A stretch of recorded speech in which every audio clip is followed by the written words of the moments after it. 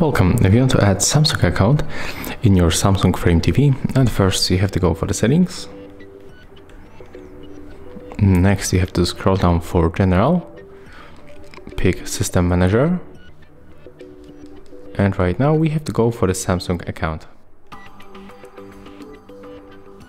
Right now we can sign in or just create a new account.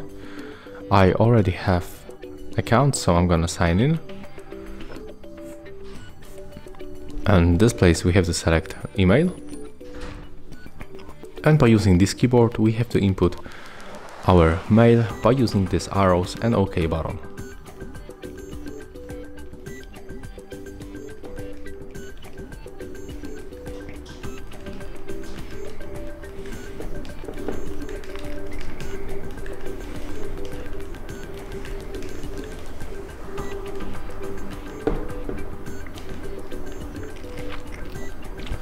When you make it, you have to select next in the right bottom corner, click OK, and then just go for the password.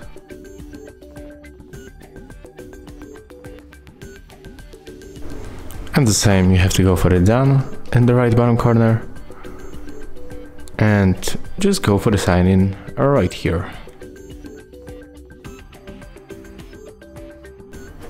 Okay, right now we have to click done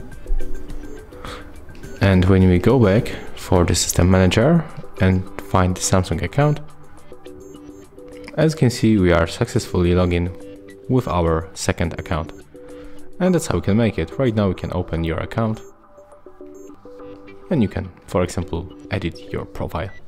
So yeah, that's all. If you find this video helpful, remember to leave a like, comment and subscribe.